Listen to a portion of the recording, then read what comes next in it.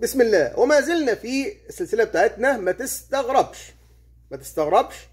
لما تطلب من الدكتور في الصيدلية دواء الاسهال الشهير إيموديوم مادته الفعالة اللي هي ليبراميد ويسألك الأسئلة دي. هل الإسهال ده فيه دم؟ طب هل في حرارة؟ طب هل كنت جاي من سفر أو غيره؟ طب هل الإسهال ده بسبب أكلة معينة أكلتها أو حاجة؟ طب هل كنت عامل تحليل مثلا؟ التحليل ده طلع أميبا أو غيره؟ الكلام ده كده كله ليه يا اخوانا لاحتمالية الإسهال ده يكون بسبب عدوى ميكروبيه فالأولى هنا في التوقيت ده إن أنت بتعمل تطهير ذاتي ما تديش حاجة.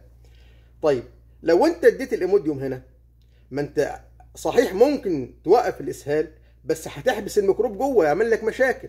فلازم هنا يتاخد بقى إيه؟ مضاد حيوي ومطهر معه وهكذا وطبعا ده مع مين مع الأخصائي.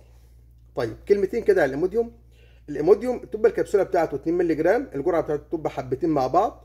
إذا استمر الموضوع حبتين تانيين وهكذا بجرعة لا تتخطى 16 مللي جرام في الحالات الحادة ولا تتجاوز الأيام عن يومين ورا بعض.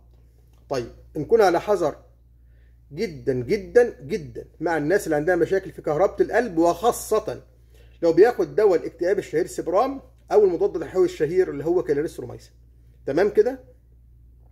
لأن هنا الخطورة بتزيد أكتر بالنسبة لموضوع كهربة القلب. إن شاء الله نلتقي في الفيديو القادم على خير ولا تنسوا اللايك والشير. شكرا والسلام عليكم.